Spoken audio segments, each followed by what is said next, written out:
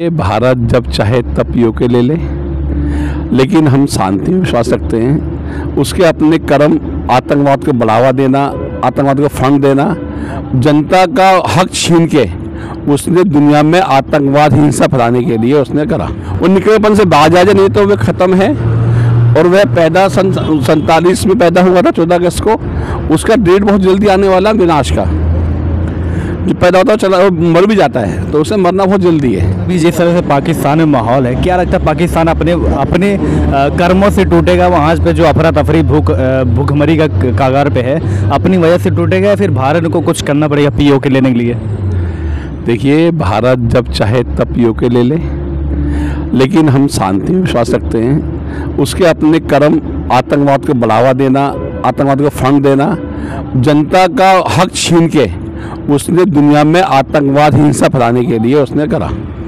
आज वही जनता उससे पूछ रही है, वहाँ आटा, दाल, चावल, चीनी कुछ नहीं है साहब। आज पाकिस्तान कंगाल हो चुका है, सिर्फ़ उसकी वजह खुद जिम्मेदार हैं उसके जो रहनुमा, उससे पहले जो राज जिन्होंने यहाँ वहाँ पर अपना हुकूमत की हैं, जो वहाँ के प्राइम मिनिस्टर और फौज के जो आला अधिकारी हैं, जिन्होंने आई इसको हमेशा बढ़ावा दिया आतंकवाद को, अलगाववाद को।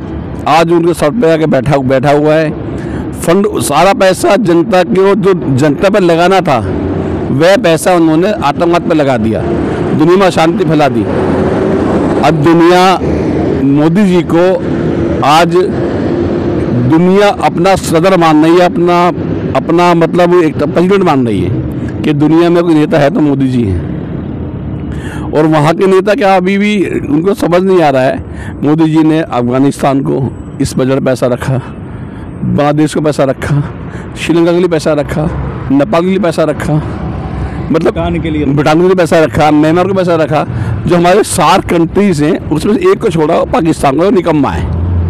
वो निकलेपन से बाज आ जाए नहीं तो वह ख़त्म है और वह पैदा सन सैंतालीस में पैदा हुआ था चौदह अगस्त को। उसका डेट बहुत जल्दी आने वाला विनाश का। जो पैदा होता है चला वो मर भी जाता है तो उसे मरना बहुत जल्दी है। अभी वहाँ के एक नेता आपने कहा कि भुखमरी पे कंगाल हैं तो कह रहे हैं कि दुनिया हमें भी पैसे नहीं दे रहे लोन नहीं दे रहे हमें एक हाथ में कुरान दूसरे हाथ में परमाणु बम लेकर दुनिया में घूमना चाहिए ताकि दुनिया, दुनिया जो हमें गंभीरता से ले और हमें लोन दे सके। भाई देखो ना धमकी देना धमकाना वही काम उनका है। बहुत धमकाया हमको हम कश्मीर ले लेंगे पीओ के अब पीओ के भी हमारे पास आने को तैयार बैठा हुआ है। पीओ के में आप आज जन्म संग्रह करा लो पीओ में पीओ के में आज जन्म संग्रह हो जाए तो वहाँ की जनता चाहती है कि हम कश्मीर में मिल जाए हम भारत के साथ हमारा विलय हो जाए। क्यों? उन्हें लगता है कि भारत के अंदर मोदी जी ने 2023 तक के लिए राशन देने का फ्री ऐलान कर दिया। चौबीस तक चौबीस जो 24 तक। 2024 तक फ्री राशन का उन्होंने ऐलान कर दिया इकतीस मार्च तक के लिए। कि 40 चालीस करोड़ लोगों को फ्री राशन मिलेगा।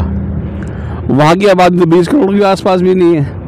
वहाँ रोटी खाने को नहीं है जनता के पास। जनता भुखमरी की घर पर खड़ी हुई है। ना रोटी मिल रही है, ना आटा मिल रहा है, दाल मिल रहा है, चावल मिल रहा है, कुछ वहाँ मिल ही रहा है।